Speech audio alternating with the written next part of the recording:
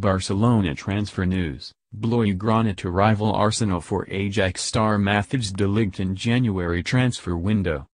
Barcelona have identified Holland international Matthijs de Ligt as their main target during the January transfer window.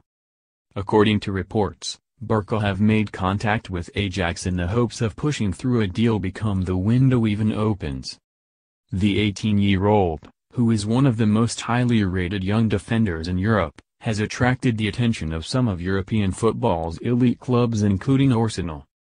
De Ligt plays as a centre-back and became the youngest Holland debutant since 1931 when he started the World Cup qualifying defeat to Bulgaria earlier this year.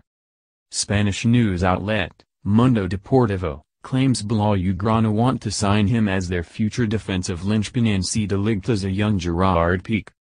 They also report that Ajax's sporting director, Marc Overmars, has already told the Catalans that the Ajax Academy graduate is not for sale. And the Dutchman, himself, has stated that he would only consider a move away if he is regular first-team football. De Ligt said, I prefer to be a starter at Ajax than the Barcelona bench. De Ligt is contracted to Ajax until 2021 and they are likely to demand a hefty fee for his services. He came through the Ajax's fabled academy and made his senior debut against Willem II in September last year.